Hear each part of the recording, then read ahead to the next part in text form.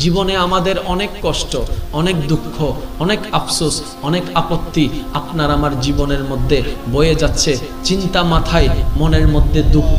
কত কষ্ট, কত চিন্তা। বলুন তো, চিন্তা করে করে এই পর্যন্ত কোনো লাভ কি আমাদের হয়েছে? প্রেশার বাড়া ছাড়া আর কোনো লাভ হয় নাই। গুম নষ্ট হওয়া ছাড়া কোনো লাভ হয় নাই। বিশ্বের সকল মানুষ মুসলমান নির্দ্বিধায় কষ্টে ছাড়া শান্তিতে ঘুমাতে পারবে। শুধু একটা ট্যাবলেট খেতে হবে, একটা ট্যাবলেট। সেই ট্যাবলেটটার নাম হচ্ছে আল্লাহর শুক্রিয়ার ট্যাবলেট, আল্লাহর প্রেমের ট্যাবলেট। কীভাবে? যতই চিন্তা করেন, নিজের মনকে বুঝ দিতে হবে। আমি যতই ভাবি না কেন, যা হওয়ার তা হবে। যখন হওয়ার, তখন হবে। যেভাবে হওয়ার, সেভাবে হবে। এত ভাবনা কিসের? যখন হবে, তখন দেখা যাবে। আলহামদুলিল্লাহ, আমি অনেক ভালো আছি। আলহামদুলিল্লাহ, আমি অনেক ভালো আছি। যতই আলহামদুলিল্লাহ বলতে যাবেন, আপনার কষ্টের মাত্রা ততই কমতে থাকবে।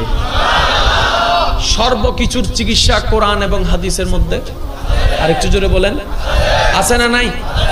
এই যে কতগুলা মানুষ আমরা জীবনে অনেকে কষ্টে সহ্য করতে না পেরে, অপমান সহ্য করতে না পেরে, দুঃখ সহ্য করতে না পেরে, ব্যথা সহ্য করতে না পেরে অনেকে সুইসাইড করছে, অনেকে ওষুধ খেয়ে মারা যাচ্ছে, অনেকে বিষ খেয়ে মারা যাচ্ছে। আমি বললাম, ভাই, আমি বললাম, বোন, আপনি কেন আত্মহত্যা করছেন?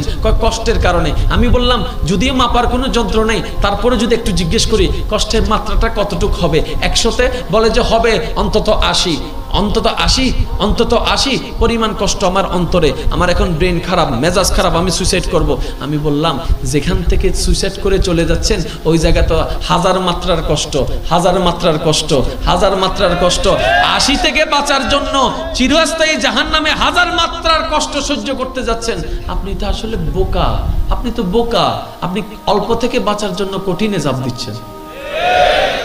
একই জিনিসটা যখন ইসলাম ধর্মে মুসলমানদের উপর আসা শুরু করল, আমার নবী মাথায় হাত বুলাই দিয়ে সবাইকে জানাই দিলেন ও মত কষ্ট যতই আসুক, ধৈর্য ধরিও।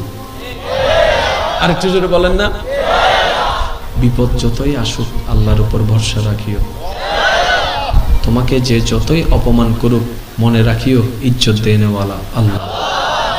যতই তোমার হক মানুষ নষ্ট করুক না কেন, এতটুকু মনে রাখিও, উত্তম বিচারক আল্লাহ।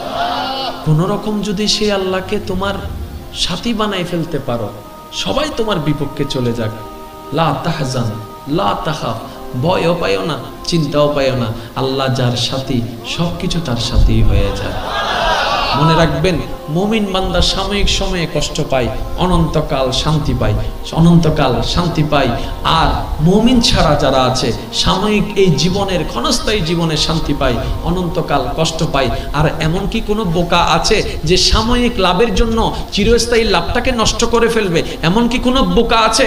এমন কি কোনো বোকা আছে? হয়তো আমরা ভবিষ্যৎ জানি না। জাস্ট একটু বুঝার জন্য যদি বলি, কেউ যদি বলে যে তোমাকে আমি দশ বছর সুখ দিব, একশো বছর কষ্ট দিব এই একটা অপশন তোমাকে নিতে হবে। আর একটা হচ্ছে, আমি তোমাকে দশ বছর কষ্ট দিব, একশো বছর সুখ দিব। আমি এখন দ্বিতীয় অপশন আপনি, আমি কোনটা নিব? যেটাতে সুখ বেশি, সেটাই নিব। ঠিক একই জিনিসটা। আল্লাহ বলে যে, দশ বছর দুনিয়াতে ধৈর্য ধরে কষ্ট কর। হাজার হাজার বছর জান্নাতের নিয়ামত তোর জন্য রেখে দিয়ে